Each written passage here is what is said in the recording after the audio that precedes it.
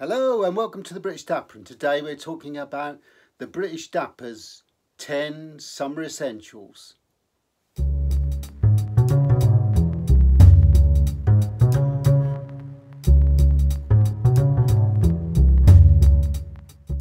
So it's that time of the year in the UK where we're now heading into summer and uh, that brings me on to the subject of a more casual way of dressing for the summer months.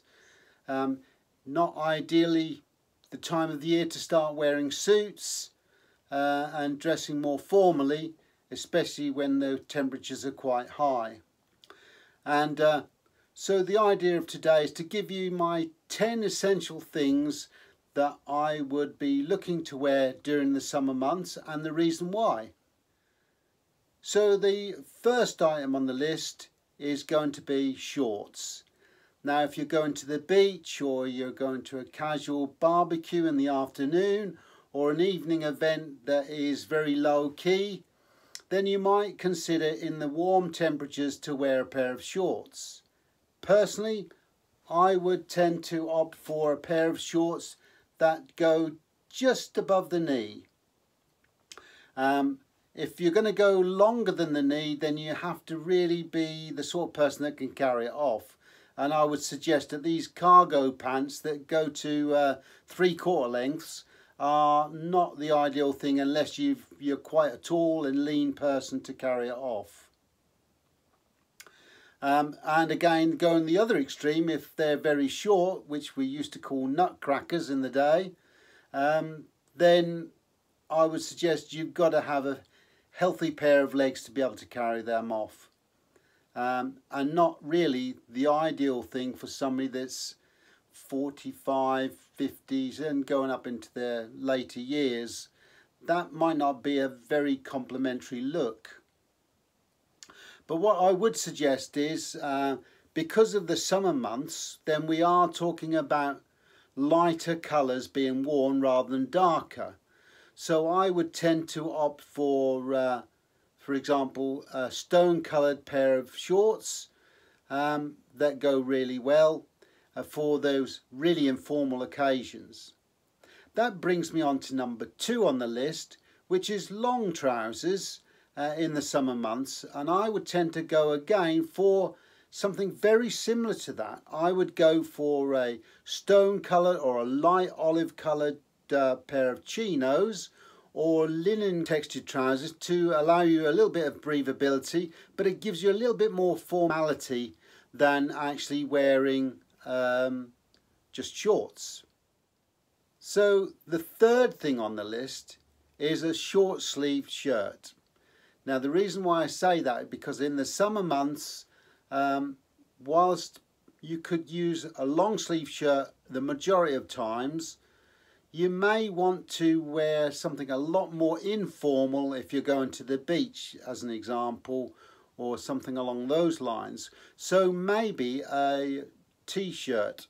I would suggest uh, a polo t-shirt where it's got a little bit of a hint of a collar um, and it's quite a relaxed fit and not a bad look with a pair of chino shorts or a pair of chinos or a pair of uh, informal trousers.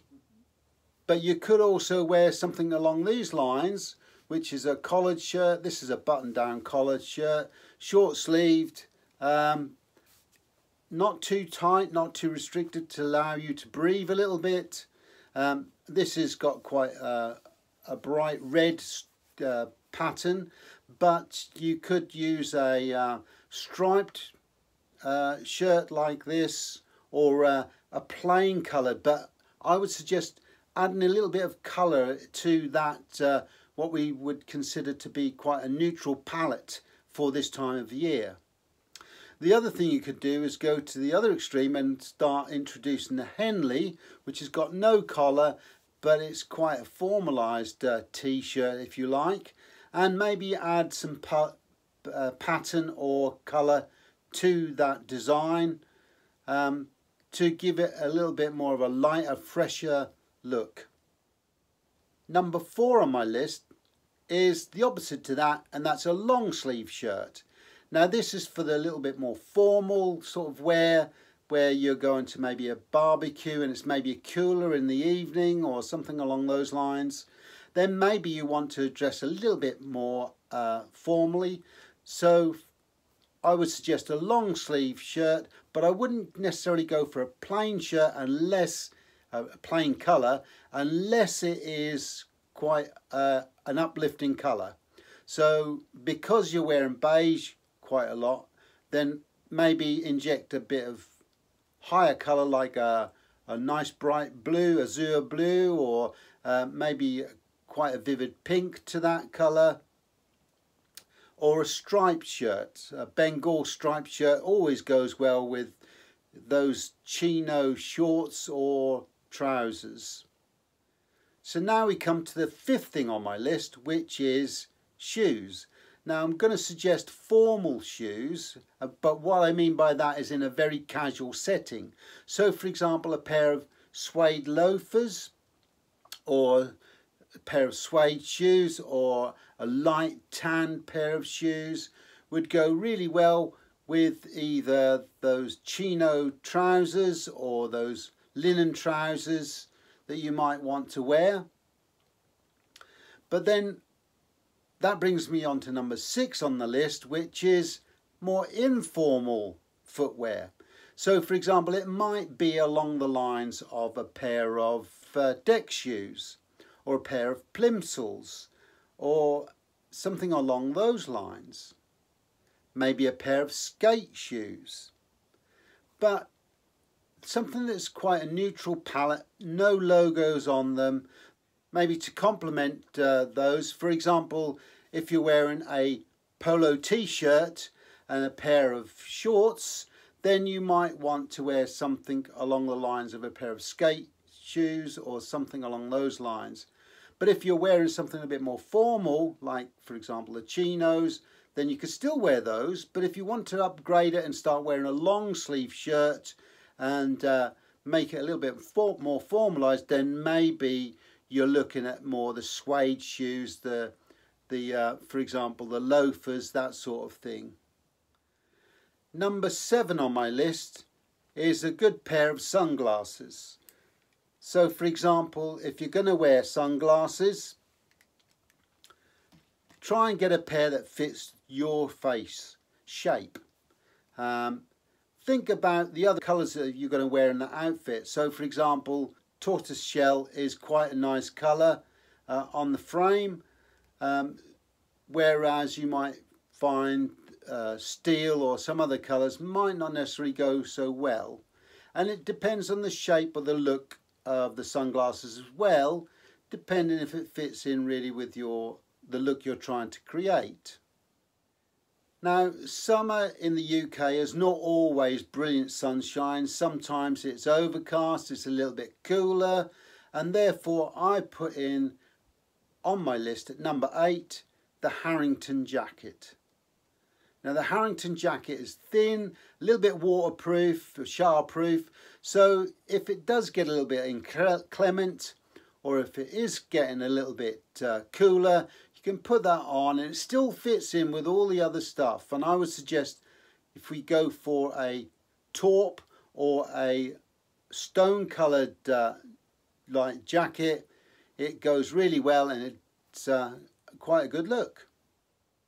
Number nine on my list is in the evenings when it starts to get a little bit cooler.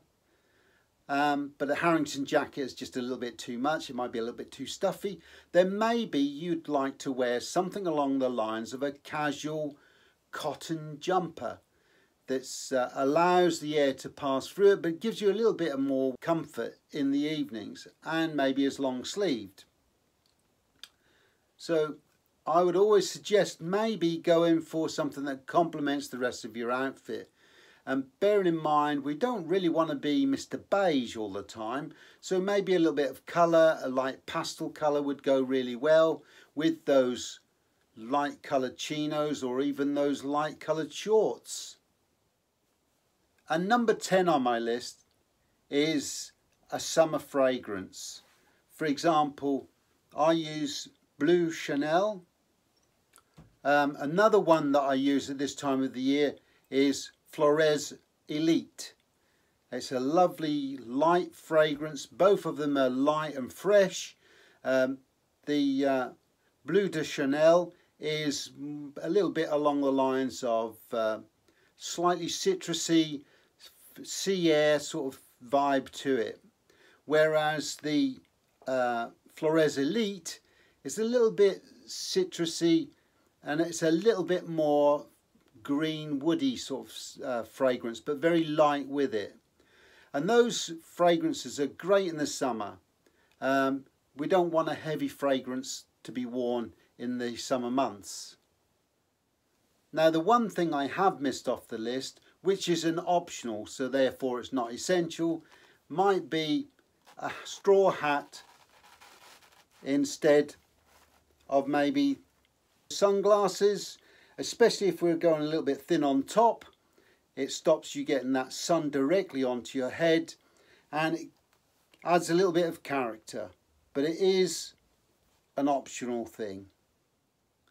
So we hope you enjoyed the video. If you did, give us a thumbs up. If you'd like to subscribe, then please feel free to do so. We love constructive comments, so if you'd like to jot them down below, we'll get back to you as soon as we can. If you want notifications, just simply hit the bell and hopefully when the next video is out, you should get a notification to tell you about it. So until next time, take care.